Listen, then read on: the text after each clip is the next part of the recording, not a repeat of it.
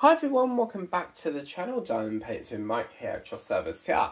And today we have another Temu unboxing. And we've got three items in here, one of which is a diamond painting, and two things, oh no, two things are a diamond painting, and one of which isn't. So let's get into this little package, and um, we'll see what we've got in here to show you.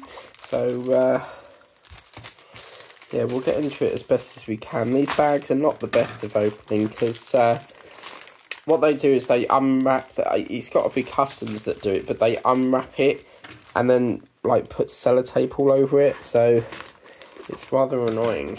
Um, but anyway, inside here, can you see I've got two little ducks?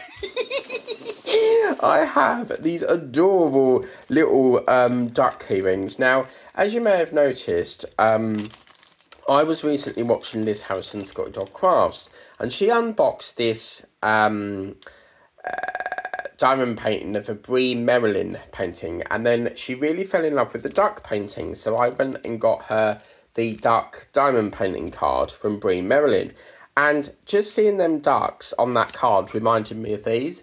So the other day on Temu, I was putting in like ducks, and I wanted like something like a duck keyring, and I had to get these adorable little ducks. How cute is that? So I'm going to be putting them on my keys. Um, so yeah, they're plastic, but just something like nice, something on your keyring. You know, or as a keyring, if you're going out shopping, you could put your shopping trolley key uh, key thing on there. You know where you put that little counter thing in the shopping trolley that's really lovely quality and you've got your three little ducks on there. So I had to get them. Absolutely gorgeous. Okay, so then the next thing I got was, as you know, my love for diamond painting. I got a diamond painting, 20 times 20 again. I'm slowly moving away from 30 times 40s, guys. Um, and in here, as you know, um, over the years, I have done basketballs, footballs, and I still need to finish them actually. We sort of drifted away from them, and I need to get them back up and sorted again. Um, so I haven't worked on them for ages, but I saw this and I was like, go for the goal. I had to get that. I'm not really a big football fan. I support Manchester United, um, but I wouldn't watch it on TV if you like, only if Man U were playing. I'm not really a big football person. Um, have gone to the stadiums every now and then, but uh, only the Arsenal one because my dad invited me to go there. But uh, yeah, it was an experience. But um, yeah, anyway, so Bob, oh, oh look, Bob. Um, I don't think we've ever had a coding with the name Bob. Um, but Bob017, we've got 15 um, colours here on the Showmatic, and it's a really beautiful print. It's like someone's just kicked it up into the air, and you've got that lovely reflection of the ball landing here onto the grass. Really lovely whites and blacks there, with that gorgeous trim of... Um, green there so I absolutely had to get that and that will go on my bedroom wall next to my clock I think so yeah um, so that was that. We've got our standard boat here. So your standard sort of little boat. And then we'll get into the drills here. Yay. So exciting. It makes me want to sort of like um, do it over, like do it off camera, like sitting in the garden with your glass of Coke on a nice summery day and just whip away and chat on your garden sort of patio and stuff. But yeah, I don't know. Sometimes when I do a painting on camera, uh, off camera, I regret not doing it on camera and showing you guys. But yeah, I might do that off camera because I quite like that one. We've got some greys there. We have a um, purpley sort of browny colour there. Really lovely indeed. We've got some greys there and another grey. And we've got a greeny, mushy wasabi pea sort of colour there. If you don't know what a wasabi is, a wasabi is a very hot pea. Um, normally you can find it in a snack. Um, and we've got some grey blues there and that grey. I really love that colour. And I'm tempted to buy it with B&Q. I have been looking at um, the uh, wall paints there because I do need to have decorate. Um, so yeah. And then we have the um, greens here. So quite unusual green. I don't think I've ever had that before. It's like a seaweedy sort of green.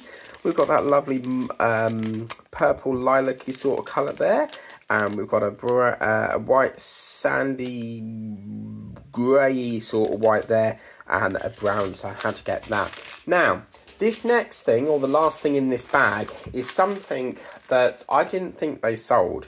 And it is, as you know, my love for dinosaurs. With washi tape, I try to match the painting to the washi tape. So I, if I'm doing like a football painting, I want football washi tape. Well, I came across this.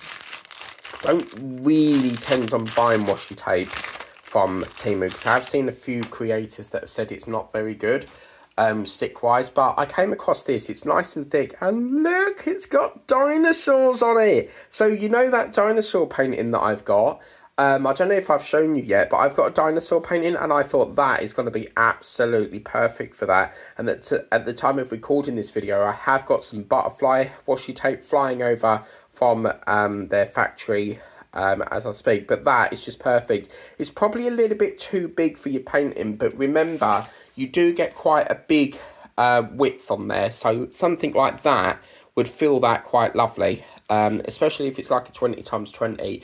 With my borders, I always put the washi tape round, and then once I've drilled it, I will cut that white uh, white border off. I don't keep the washi tape on there. It's just purely until the painting's done because all this does is act as like a dust absorber. If you put um, if you're working on this and you ain't got like washi tape on it, you're gonna get all this dusty and you've got loads of like uh, dust and stuff on there. So that is going to be perfect for my dinosaur tape. So yeah, we've got some different sort of dinosaurs on there. Um, really, really lovely ones. So yeah, I thought that was quite nice actually and uh, nice thick roll on there. So that's my little Temu haul for this time. We've got more Temu coming over as I speak, including something that includes something for hairdressing. Yes, um, I just got to show you this. I can't wait to show you. And um, yeah, that's going to be coming um, soon. But thank you so much for watching a nice little Temu haul. Can't wait to put them on my keys. Thank you so much for watching. Take care and have a lovely rest of the day. Catch you later.